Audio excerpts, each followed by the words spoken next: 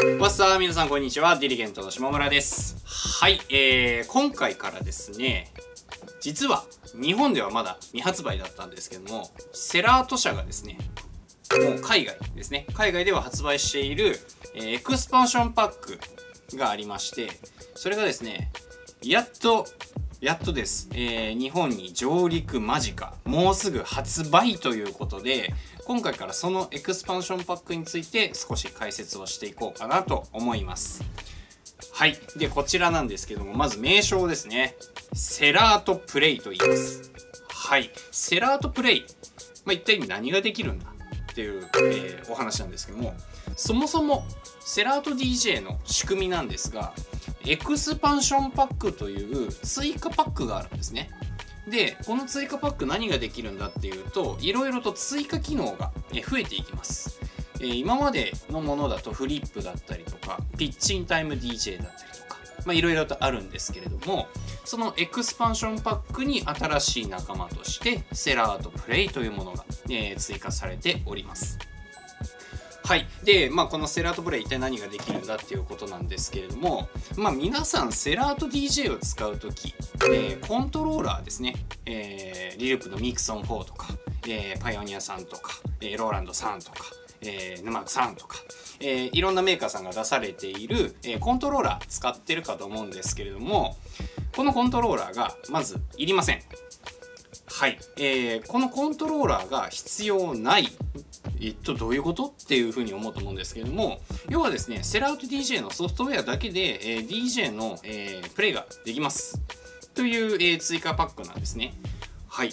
えーそのコントローラーがなくて。どうやってやるねんっていう風に皆さん今頭の中が新聞幹部だと思うんですけれども、えー今回からそれをですね解説していきたいと思います。それではですねこの中に入ってるセラートプレイ、えーご紹介していきたいと思います。はーん。はいというわけでですね、えーこちらセラート DJ プロの画面でございますとえー今出ているのがセラート DJ プロ通常の状態ですね。今何もコントローラーさしてなくてプラクティスモード2チャンネルの、え状態にしてあります。まずは Serato Play を、えー有効にしましょう。ということで右上の、えー歯車からエクスパンションパック。そしてここに Serato Play とあります。でこのセラートプレイの下セラートプレイについての、えー、と有効化っていうのが出てるんですけどもこれにチェックを入れます。はい、えーこれで準備完了ですと。はい。じゃあ、えー画面を戻しますと。はい、えー先ほどの画面とちょっと変わってる部分が、えー実はあります。はい。まあ一番、えー分かりやすいところで言うとまず真ん中といいますか中央ですね。はい。ここに、えーハイとかミッドとかローとかフィルターとかあとはなんかフェーダーが一つ、えー増えています。はい。こちらですね、えーセラートプレイの状態ですとイコライザーそしてフィルター。であとはクロスフェーダーですね。画面上にこんな感じに出るようになります。はい。で、えーじゃあもう早速ちょっとやってみるんですが再生して。じゃあちょっとフィルターかけてみましょうか。ちょっとボリュームが出るところにしましょうか。はい。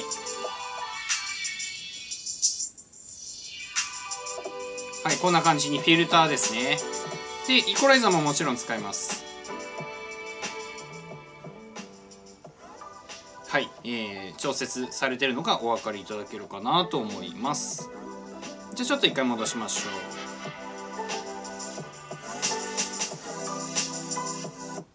はい。という感じにですねまずイコライザー普通に聞いちゃいます。はい。要はですねもうこれだけで実は DJ ができちゃいますよという、えーことになるんですね。で、えーこちら。今左側ののところなんですけども左の、えー BPM とか出てる、えー、円満円のところの右ですね。今僕操作してるんですがこれ、えー縦フェーダーです。いわゆるボリュームフェーダーですね。ちょっと再生してみてみましょう。はい。下がる。上がる。まあこんな感じですね。もうミキサーもコントローラーもいらない時代かという感じでございます。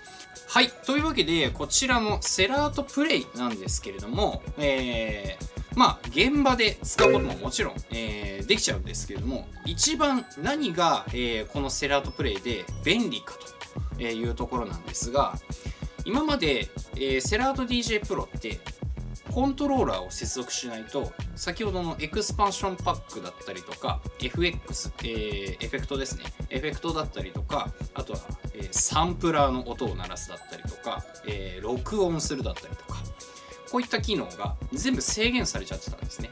なので、まあ、いわゆる練習用のモードとしてプラクティスモードっていうのがあったんですけれどもその機能全部使えます。はい。ちょっと見てみましょう。今まではコントローラーつながないとこのサンプラーの、え、スロットだったりとか FX のパネルだったりとか、え、レックだったりとかこういったところ、えー、使えませんでした。こういった感じの、え今まで、えセラート DJ プロですね。セラート DJ プロで使えなかった、ね、コントローラーささないと使えなかった機能というのが、えー、使えるようになっております。はい。で、えー、まあ、個人的におすすめなところなんですけども、このセラートプレイを有効化することによって、レックができるんですね。はい。で、えーと、レックのロケーション見ると、ミックスとビデオミックスって、え、出ております。つまり、えー、パソコン、コンピューターですね。コンピューターとセラート DJ プロとセラートプレイ。この、えー、ライセンスをお持ちの方は、もうコンピューター1台で DJ ミックス作れちゃうわけなんですね。はい。なので、えー、もうコントローラーであーっていう風にやる、まあ、ちょっと簡単なミックスを取りたいだったりとか、えー、そんな、えー、ちょっとラフなミックスを取りたいなっていう時とかですねはい。まあなんかアイデア探しの、えーまあ、ちょっと結果を、えー、ミックスで残しておきたいですとか、まあ、そういった時に、えー、レックしておけば使えますよっていう、え、感じですね。はい。といった感じでですね、えー、セラート DJ Pro、そして今回、えー、新たに登場したセラートプレイ、えー、を、まあ、ちょっと簡単にご紹介したんですけれども、この、え、セラートプレイの細かなところ、設定だったりとか、あとは実はですね、えこう、キーボードで全てのコマンドが打てたりとかするんですけれども、まあ、そういったところはですね、え次回の動画、えで紹介していきたいなと思います。それではまたお会いしましょう。本バイバイ。